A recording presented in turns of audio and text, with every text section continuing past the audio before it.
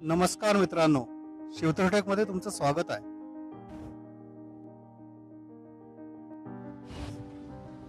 उद्या सव्वीस जानेवारीचे औचित्य साधून सर्व पक्षीय शेतकरी मोर्चाचं आयोजन करण्यात आलेलं आहे. त्यासाठी प्रत्येक जिल्ह्यातून अगदी शेतकऱ्या शेतात काम करणाऱ्या शेतकऱ्यापासनं ते सर्व प्रकार सर्व शेतकऱ्यांनी याच्यामध्ये सहभाग घेतलेला आहे. आज इथं आझाद मैदानावरती मोठा एक मांडव उभा करून त्याच्यामध्ये शेतकऱ्यांना झोपायची सोय करण्यात आलेली आहे जेवणाची सोय करण्यात आलेली आहे. भरपूर गाड्या एकवीस बावीस तारखेपासूनच विदर्भ मराठवाड्यातून मुंबईमध्ये दाखल झालेल्या आहेत. इथं बघून लक्षात येत नाहीये की किती संख्या शेतकऱ्यांची उद्या मोर्चाला असू शकते. कारण आझाद मैदानाचा जो आवाका आहे त्याच्या तुलनेत तितकीशी शेतकऱ्यांची संख्या इथं दिसत नाही आहे पण जे कोणी आलेले आहेत त्याच्यामध्ये अगदी आपण कशासाठी आलोय असं हे माहिती नसणारा शेतकरी पण दिसतोय.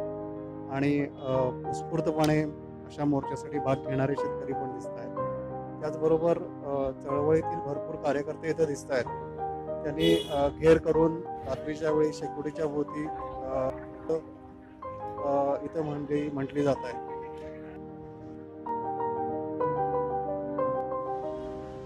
उद्या आणखीन किती शेतकरी याच्यामध्ये सामील होत आहेत ते बघावं लागेल.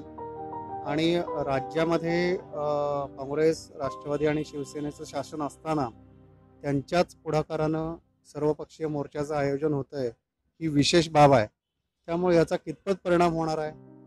केंद्र शासनावरती येऊ घातलेल्या शेतकरी कायद्यांच्या विरोधात हे आंदोलन आहे आणि त्याच्या विरुद्ध एक आवाज उठवायचा आहे.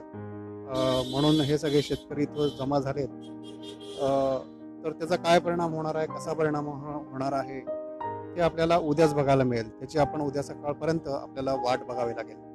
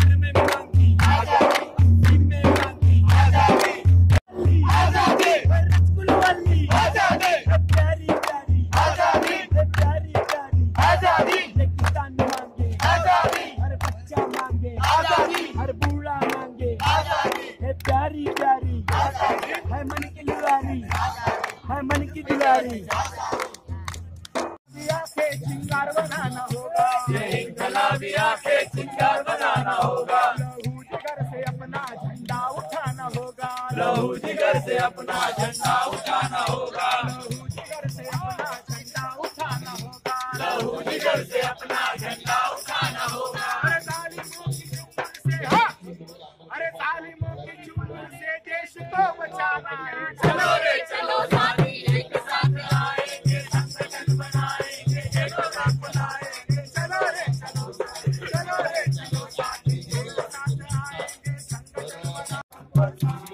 आणि कोकण आमचा जीव गेला नी भरला तुझा किसा भरला तुझा किसा दादा भरला तुझा किसा तो बसा.